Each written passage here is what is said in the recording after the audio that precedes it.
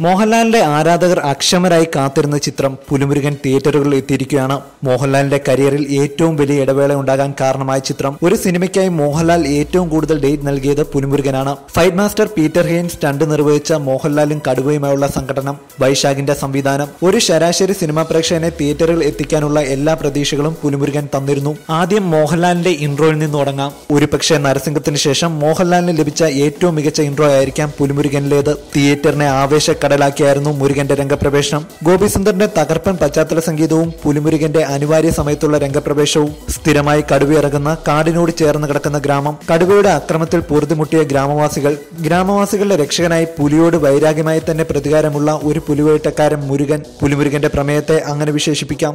ആദ്യത്തെ പതിനഞ്ച് മിനിറ്റിലെ fight രംഗങ്ങളും interval പഞ്ചസീനും ശരിക്കും പ്രേക്ഷകരെ ആവേശത്തിലാഴ്ത്തുന്നതാണ്. കോമഡിക്ക് വേണ്ടി സൃഷ്ടിച്ച ചില രംഗങ്ങൾ ഒഴിച്ചു നിർത്തിയാൽ ആദ്യ പകുതി മോഹൻലാൽ ഫാൻസിനൊപ്പം പ്രേക്ഷകർക്കുമുള്ള സ്പെഷ്യൽ ട്രീറ്റ് ആണ്. പ്രേക്ഷകനെ ആവേശത്തിന്റെ മുൾമുനിയിൽ നിർത്തുന്നതാണ് ചിത്രത്തിന്റെ ക്ലൈമാക്സ് ഒന്നാം പകുതിയിലെ ചടുലത ചിത്രത്തിൽ ഉടനീളം നിലനിർത്താൻ സംവിധായകൻ വൈശാഖിന് സാധിച്ചു.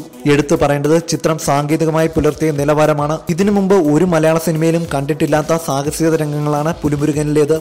സ്റ്റണ്ട് മാസ്റ്റർ പീറ്റർ ഹെയ്ൻ ഒരു മലയാളം സിനിമയ്ക്ക് വേണ്ടി എടുത്ത എഫർട്ട് പ്രത്യേകം പ്രശംസ അർഹിക്കുന്നു. പുലിമുരുകന്റെ ഏറ്റവും വലിയ ആകർഷണത മോഹൻലാലിന്റെ പ്രകടനം തന്നെയാണ്. തന്റെ അമ്പത്താറാം വയസ്സിലും സംഘടന രംഗത്തിലെ തന്റെ പ്രാവീണ്യത്തിന് ഒരു കുറവും സംഭവിച്ചിട്ടില്ല എന്ന് മോഹൻലാൽ പുലിമുരുകനിലൂടെ തെളിയിച്ചിരിക്കുന്നു. മോഹൻലാലിന്റെ മെയ്വഴക്കവും ടൈമിംഗും സ്റ്റണ്ട് സീക്വൻസുകൾ മനോഹരമാക്കുന്നതിൽ നിർണായക പങ്കുവഹിച്ചു. എടുത്തു പറയേണ്ട മറ്റൊരു പ്രകടനം കമാലിനി മുഖർജിയുടേതാണ്. മറ്റ് വൈശാഖ് ചിത്രങ്ങളിൽ നിന്നും വ്യത്യസ്തമായി നായികയ്ക്ക് പലതും ചെയ്യാനുണ്ടായിരുന്നു പുലിമുരുകനിൽ. ഒരുപക്ഷെ നായകനായ പുലിമുരുകനോളം തന്നെ അഗ്രസീവ് ആയിട്ടുള്ള കഥാപാത്രമാണ് കമാലിനിയുടെ മൈന. ജഗത്പതി ബാബു ലാൽ വിനുമോഹൻ സുരാജ് കിഷോർ മുതൽ ഒരൊറ്റ സീനിൽ മാത്രം പ്രത്യക്ഷപ്പെട്ട സുധീർ കരമനിയുടെ പ്രകടനം വരെ മികച്ചു നിന്നു. കഥാപാത്രങ്ങളിൽ അനാവശ്യമായി തോന്നിയത് നമുദയുടേത് മാത്രമായിരുന്നു. കാസ്റ്റ് ലിസ്റ്റിൽ നമുദയുടെ പേര് ഉൾപ്പെടുത്താൻ വേണ്ടി മാത്രം സൃഷ്ടിച്ച കഥാപാത്രമായി തോന്നി നമുദയുടേത്.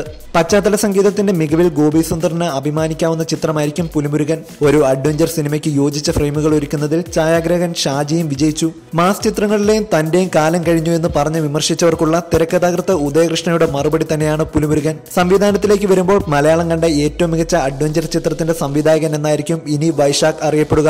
പ്രേക്ഷകന്റെ പ്രതീക്ഷകൾക്കും അപ്പുറമുള്ള ഒരു ചിത്രം തന്നെയാണ് മോഹൻലാലിന്റെ പുലിമുരുകൻ. ചിത്രം കണ്ടവർക്ക് അഭിപ്രായം താഴെ കമന്റുകളായി രേഖപ്പെടുത്താം. した。